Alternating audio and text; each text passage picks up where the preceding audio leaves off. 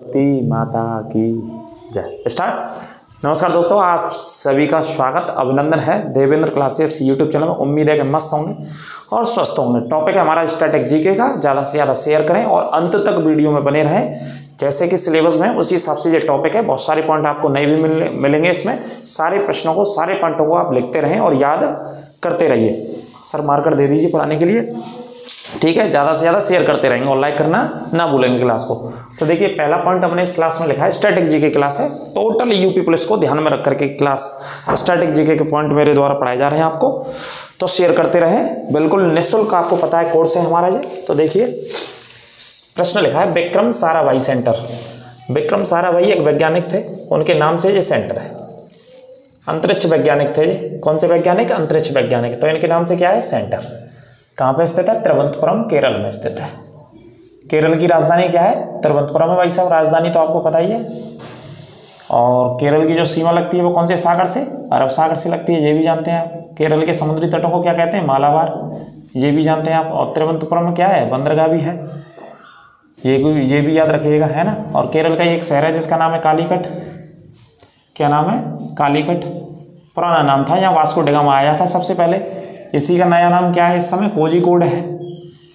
इसी का नया नाम क्या है? कोजिकोड और इसे यूनेस्को ने अभी 2023 में साहित्य का शहर घोषित किया है। कौन सा शहर घोषित किया है? साहित्य का शहर। तो याद रखना, केरल भारत में सबसे ज़्यादा काय का उत्पादन करता है? मसालों का उत्पादन करता है भारत में सबसे ज़्यादा केरल। और केले का भी उत्पादन कहाँ होता है? हाँ केरल में ही होता है। केले जो बनाना की मैं बात कर रहा हूँ, है ना? हाईएस्ट प्रोडक्शन जो होता है बनाना का, वो भी कहाँ होता है? केरल में होता है। ठंड लग रही है? लगाना जरा ठीक है, जरा ले। ठीक है भैया तो विक्रम साराभाई सेंटर कहाँ स्थित है? केरल में स्थित है। और केरल के जो पॉइंट लिखे मैंने, इसके अलावा थोरियम, परमाणु खनिज होता है थोरियम, केरल के मालाबार समुद्री क्षेत्रों में पाया जाता है, या केरल सबसे ज़्यादा थोरियम का उत्पादन करता है, ये भी पॉइंट नोट कर लीजिएगा आराम से। भारत का पेट्रोलियम संस्थान, भारतीय पेट्रोलियम, पेट्रोल के ऊपर जो संस्थान है, पूरे भारत के लेवल का, हमारा राष्ट्रीय लेवल का, वो देहरादून में स्थित है। कहाँ पे स्थित है ये? देहरादून में। ठीक है? और देहरादून है हमारे, उत्तराखंड की राजधानी। है कौन से राज्य की? उत्तराखंड की राजधानी, जो कि उत्तर प्रदेश से काटकर सन 2000 में 9 नवंबर को 13 जिलों को अलग किया गया था, उत्तर प्रदेश से। तो भारतीय पेट्रोलियम संस्थान भी है यहाँ पे देहरादून में। और दूसरा और लिख लेना, भारतीय वन अनुसंधान। भारतीय वन अनुसंधान संस्थान भी कहाँ पे स्थित है? देहरादून में स्थित है, ठीक है? और इंडियन मिलिट्री एकेडमी भारतीय सैन्य अकादमी भी कहाँ स्थित है? देहरादून में स्थित है। ये भी नोट कर लेना, है ना? ये तीनों पॉइंट नोट कर लेना जो मैंने आपको बताया है। ठीक है? और कौन सी पर्वत श्रृंखला के अंतर्गत आता है ये बात करें तो उत्तराखंड में जो पर्वत श्रृंखला फैली हुई फैली हुई है, वो शिवालिक पर्वत श्रृंखला फैली हुई है। उसे दो हिस्सों में वहाँ पढ़ा जाता है, एक गढ़वाल हिमालय के नाम से, एक कुमायूं हिमालय के नाम से। ठीक है? आगे बात करते हैं। वैसे लघु हिमालय का भी विस्तार उधर जाता है। तो इन पॉइंटों को नोट कर लेना। अगला है संयुक्त राष्ट्र से। संयुक्त राष्ट्र का शैक्षिक। देखो एक एक शब्द पढ़ना आराम से। कोई जल्दबाजी नहीं करनी है। धैर्य से पढ़िए। पेपर जब होगा, तब होगा। आप पूरी तैयारी अच्छे से कीजिए बस। एक एक पॉइंट को रटिए। कंपटीशन भैया, इसी का नाम होता है कि आपको पढ़ना बहुत पड़ेगा। याद बहुत करना पड़ेगा। है ना? चीज़ों को याद करना पड़ेगा। चीज़ों को समझना पड़ेगा भैया। रटना भी पड़ेगा। उसी में से प्रश्न आएँगे कहीं ना कहीं से, है ना? तो पढ़ना बहुत पड़ेगा, बहुत चीज़ों को कवर करना पड़ेगा। मैटर ऑफ़ जीएस जीएस के विषय में यदि मैं बात करूँ तो है ना? तो देखिए, संयुक्त राष्ट्र का शैक्षिक, दूसरा शब्द है वैज्ञानिक और तीसरा शब्द है सांस्कृतिक। ये तीन शब्द हैं, शैक्षिक, वैज्ञानिक और सांस्कृतिक। कहने का मतलब है शिक्षा के ऊपर काम करता है ये संगठन, वैज्ञानिक चीज़ों के ऊपर भी काम करता है और सांस्कृतिक संगठन भी है ये। सांस्कृतिक चीज़ों के ऊपर भी काम करता है, ठीक है? तो इसका ये पूरा नाम है, हिंदी में मैंने बताया है। शॉर्ट में से यूनेस्को बोलते हैं, आपने खूब पढ़ा होगा यूनेस्को, ठीक है? तो यूनेस्को की स्थापना 4 नवंबर 1940 को हुई थी। फ्रांस की राजधानी पेरिस में इसका मुख्यालय है। कब हुई थी? 4 नवंबर को और वर्ष है 1940 फ्रांस की राजधानी पेरिस में हेड ऑफ़िस है। भारत संयुक्त राष्ट्र में कब शामिल हुआ था? 1945 में शामिल हो गया था। एक घोषणा पत्र पर हस्ताक्षर करने के बाद, है ना? संयुक्त राष्ट्र की स्थापना 24 अक्टूबर 1945 को हुई थी। उसी वर्ष में भारत शामिल हो गया था। कई बार प्रश्न पूछा जा चुका है। नोट कर लेना। आगे बात करते हैं सार्क। नाम सुना ही होगा आपने। सार्क एक संगठन है। ऐसे इंग्लिश में भी ऐसे लिख लेते हैं। लिख करके आ जाता है और हिंदी में क्या बोलते हैं इसे? दक्षेस। ये लिख लेना। हिंदी में क्या बोल देते हैं? दक्षेस। संगठन की स्थापना 8 दिसंबर उन्नीस को हुई थी और इसका जो हेड ऑफ़िस है वो कहाँ पे है? काठमांडू में स्थित है। काठमांडू का की राजधानी है नेपाल की। नेपाल की राजधानी क्या है? काठमांडू। ठीक है? ये पॉइंट नोट कर लेना भाई साहब। 8 दिसंबर उन्नीस को स्थापना हुई कौन से संगठन की? सार्क की, जिससे दक्षिण एशियाई का संगठन कहा जाता है। दक्षिण एशियाई देशों का संगठन इसे कहा जाता है। दक्षेश भी इसे बोलते हैं, सार्क भी इसे बोलते हैं, काठमांडू में इसका हेड ऑफ़िस है। ठीक है? अगला पॉइंट है, भारत का पहला इंजीनियरिंग कॉलेज भारत का पहला इंजीनियरिंग कॉलेज की स्थापना रुड़की में हुई थी, जो कि उत्तराखंड में है। रुड़की कहाँ पे है? उत्तराखंड में। अठारह सौ सैंतालीस में इसकी स्थापना की गई थी ब्रिटिश शासनकाल में। आजकल इसे आईआईटी कॉलेज के नाम से जाना जाता है। कौन सा कॉलेज है? आईआईटी कॉलेज है आजकल। ठीक है? नोट कर लीजिएगा, अठारह सौ सैंतालीस। आगे बात करते हैं, विश्व व्यापार संगठन, विश्व स्वास्थ्य संगठन और विश्व श्रम संगठन। तीन संगठन है, एक ही लाइन में। एक कौन सा? व्यापार वाला। दूसरा कौन सा है आपका? स्वास्थ्य वाला। और तीसरा कौन सा है? श्रम वाला। मतलब लेबर इंग्लिश में क्या बोलते हैं इसे? लेबर और इसे इंग्लिश में क्या बोलेंगे? आप जानते हैं हेल्थ डिपार्टमेंट है ये और ये आपका है ट्रेड वाला। तो विश्व व्यापार संगठन, स्वास्थ्य श्रम संगठनों का जो ऑफ़िस है वो कौन सी जगह? जेनेवा में। स्विट्जरलैंड की कौन सी जगह स्थित है? जेनेवा में। तीनों शहरों का मुख्यालय ठीक है? आते रहते हैं, याद रखिएगा। आगे बात करते हैं। उन्नीस सौ अठानवे में अमृत्य सेन को नोबेल पुरस्कार दिया गया था। ये भारतीय मूल के व्यक्ति थे, पहले भारतीय मूल के व्यक्ति, जिनको किसमें नोबेल पुरस्कार मिला? अर्थशास्त्र के क्षेत्र में। नोट कर लेना, अर्थशास्त्र के क्षेत्र में। अमृत सेन, पहले भारतीय व्यक्ति, जिनको उन्नीस सौ अठानवे में नोबेल पुरस्कार से सम्मानित किया गया। आगे बात करेंगे, उन्नीस सौ अड़सठ में अर्थशास्त्र का नोबेल पुरस्कार। स्वीडन के सेंट्रल बैंक, कौन से देश का है ये बैंक? स्वीडन का। स्वीडन के सेंट्रल बैंक के 300वें स्थापना दिवस के अवसर पर शुरू किया गया था, ये भी लिख लेना। ये कई बार आपने पढ़ा होगा कि भाई, जो नोबेल पुरस्कार दिए जाते हैं, वो कौन सी वर्ष से अर्थशास्त्र में नोबेल पुरस्कार शुरू हुआ? तो अर्थशास्त्र में उन्नीस सौ अड़सठ से नोबेल पुरस्कार शुरू हुआ था, देना। शुरू में नहीं हुआ था। वैसे नोबेल पुरस्कारों का प्रारंभ हुआ था 1901 में, लेकिन इकोनॉमिक्स इकोनॉमी के क्षेत्र में उन्नीस सौ अड़सठ में शुरू हुआ था। तो अड़सठ में जब शुरू हुआ तो स्वीडन की सेंट्रल बैंक जैसे हमारी आरबीआई है भारत की, ऐसे स्वीडन की है सेंट्रल बैंक के तीन स्थापना दिवस के अवसर पर उन्नीस में अर्थशास्त्र का नोबेल शुरू किया गया था। यह थोड़ी सी जानकारी आपके लिए नोट कर लेना। आगे बात करते हैं। पहले भारतीय व्यक्ति साहित्य के क्षेत्र में जिनको नोबेल पुरस्कार मिला। तो साहित्य के क्षेत्र में 1913 में नोबेल पुरस्कार रविन्द्रनाथ टैगोर जी को मिला। किसको मिला? रविंद्रनाथ टैगोर जी को। ठीक है? पहले भारतीय व्यक्ति जिनको फिजिक्स में नोबेल पुरस्कार मिला 1930 में मिला था। इनका नाम है C V Raman, doctor C V Raman को मिला था। ठीक है? इनकी याद में विज्ञान दिवस 28 फरवरी को मनाते हैं। आगे बात करते हैं पोलैंड। ये देश सुना होगा, यूरोप का देश है, इसकी राजधानी वर्षा। विश्वला नदी बहती है जहाँ पे। यूक्रेन का पड़ोसी देश है। पोलैंड की मैडम क्यूरी। पोलैंड की वैज्ञानिक मैडम क्यूरी को दो बार अलग अलग विषयों में नोबेल पुरस्कार दिया गया है। ठीक है, दो बार इन्होंने अलग अलग विषयों में नोबेल पुरस्कार जीता है, मैडम क्यूरी ने। 1903 में फिजिक्स को फिजिक्स के क्षेत्र में और 1911 में केमिस्ट्री के क्षेत्र में इनको मिला है। इन्होंने रेडियम की खोज की थी। मैडम क्यूरी ने कहा की खोज की थी? रेडियम की खोज की थी मैडम क्यूरी ने, है ना? नोट कर लेना ये। दो बार नोबेल पुरस्कार अलग अलग और कौन से देश की है? पोलैंड की निवासी हैं। आगे बात करते हैं, ज्ञानपीठ पुरस्कार तो सुना ही होगा आपने, साहित्य के क्षेत्र का सबसे बड़ा पुरस्कार है भारत का, है ना? तो ज्ञानपीठ पुरस्कार उन्नीस सौ पैंसठ में शुरू होता है। कौन सी वर्ष में शुरू हुआ था? उन्नीस सौ पैंसठ में ज्ञानपीठ पुरस्कार शुरू हुआ था और पैंसठ में मलयालम भाषा के कवि थे, जिनको सबसे पहले दिया गया जी शंकर कुरुप को दिया गया। है ना? पुरुषों में, उन्नीस सौ पैंसठ में।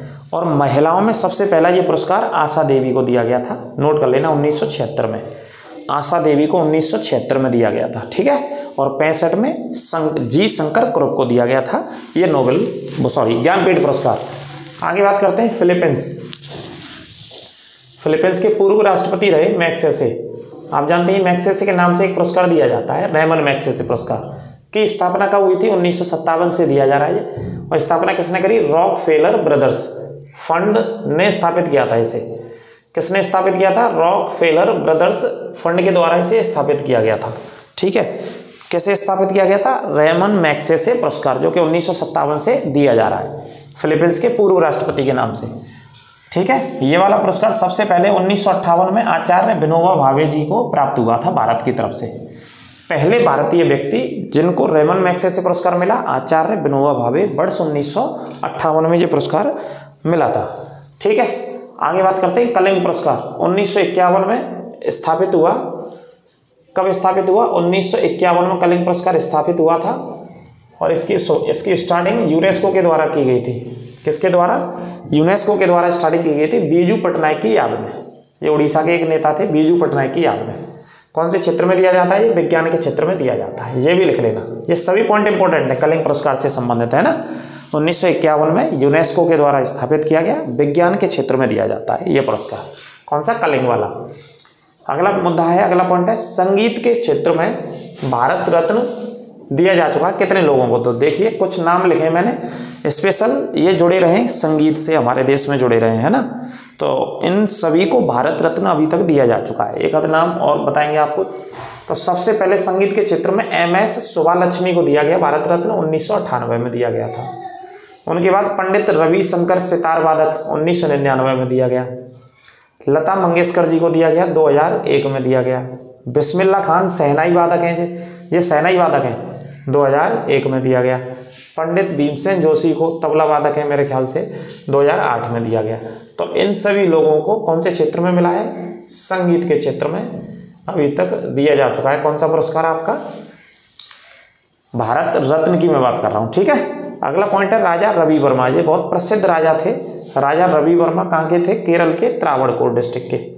केरल के रहने वाले थे त्रावणकोर के। ये फ़ेमस थे। इन्होंने महाभारत और रामायण के ऊपर चित्र बनाए थे। महाभारत और रामायण के लिए चित्र बनाए थे। तो उन्हीं के लिए ये दक्षिण भारत में बहुत प्रसिद्ध राजा थे। कई बार प्रश्न पूछा जा चुका है, राजा रवि वर्मा केरल के त्रावणकोर के थे। ठीक है? नोट कर लेना।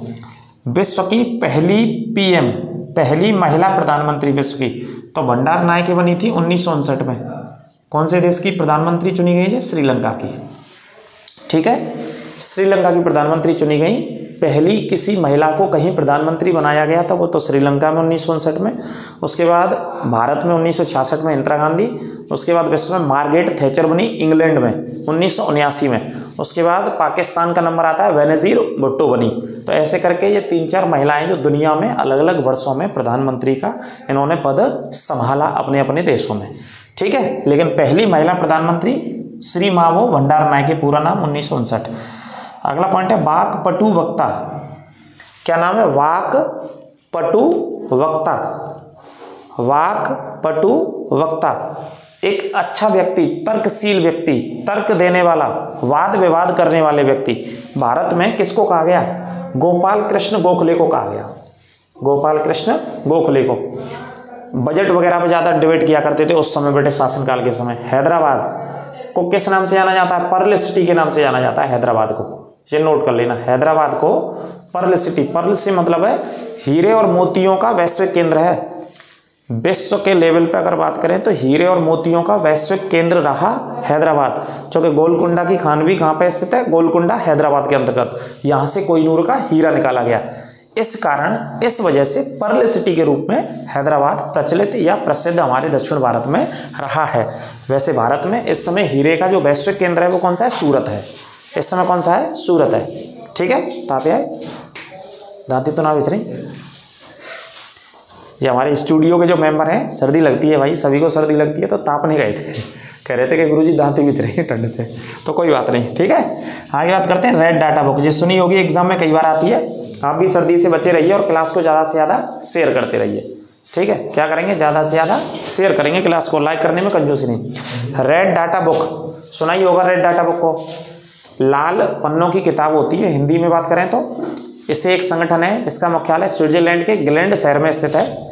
ठीक है? आई यू सी एन करके एक संगठन है। ये संगठन इस पुस्तक को जारी करता है और इस पुस्तक में जो विलुप्त प्राय प्रजातियाँ हैं, विलुप्त प्राय प्रजातियाँ किसकी जीव जंतुओं की, जो खत्म होने के कगार पे हैं विश्व भर में।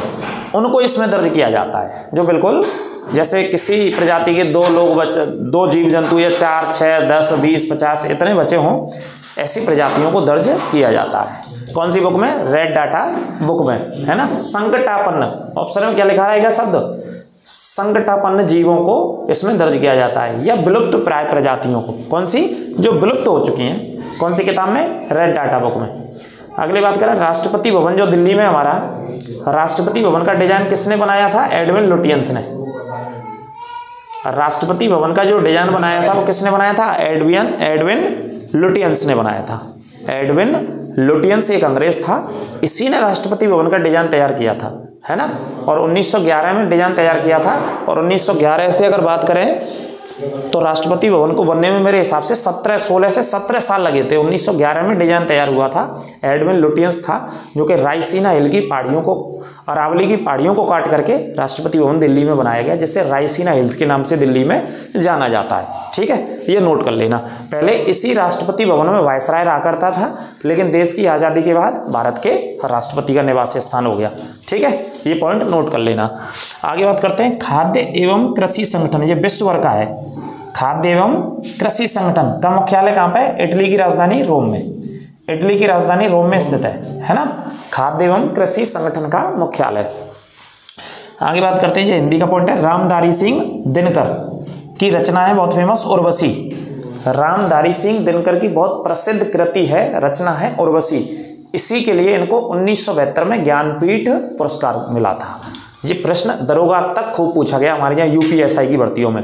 रामधारी सिंह दिनकर को उर्वशी रचना के लिए उन्नीस में कौन सा पुरस्कार दिया गया? ज्ञानपीठ पुरस्कार दिया गया था। तो ये थी हमारी आज की क्लास। स्टैटिक जी की क्लास कैसी लगी? कमेंट करके अवश्य बताएँ। जैसा कि मैंने कहा, ज़्यादा से ज़्यादा शेयर करते चलें अपने दोस्तों मित्रों के साथ। कोर्स बिल्कुल निःशुल्क है, इसका कोई शुल्क नहीं है, कोई चार्ज आपको देना नहीं है, सिर्फ़ पेन कॉपी उठाने और लगातार आपको नोट्स बनाने हैं और चीज़ों को बार बार याद करना है बार बार लिखोगे, याद करोगे तो जीएस की सारी चीज़ें आपको याद होंगी। लगातार जुड़े रहिए, चैनल को बढ़ाते रहिए अपने मित्रों और दोस्तों के साथ। और अपने स्वास्थ्य का भी विशेष ख्याल रखिए, ठीक है? और सर्दी का भी विशेष ख्याल रखिए, सर्दी से बच के रहिए और पढ़ाई भी लगातार करते रहिए। क्योंकि जगह हैं आपके लिए यूपी पुलिस की कितनी? साठ हज़ार दो सौ चवालीस वैकेंसी है तो सिर्फ़ एक वैकेंसी आपको लेनी है, सभी नहीं लेनी है। साठ हज़ार तो औरों के लिए छोड़ देना, दो सौ चवालीस भी औरों के लिए छोड़ देना, दो सौ तैंतालीस औरों के लिए छोड़ देना, आपको कितनी लेनी है एक? लेकिन हमारे बहुत सारे विद्यार्थी हैं तो दो सौ चवालीसों को भी आप ले जाना, है ना? साठ को भी ले जाना, आप जितने भी हमारे सब्सक्राइबर्स हैं। लेकिन मिलेगी तभी, तब आप पूरी ईमानदारी से, पूरी पारदर्शिता लगातार आप मेहनत करते रहेंगे। अगली क्लास में फिर मिलेंगे। क्लास को शेयर करते चले। नमस्कार सभी को। राधे राधे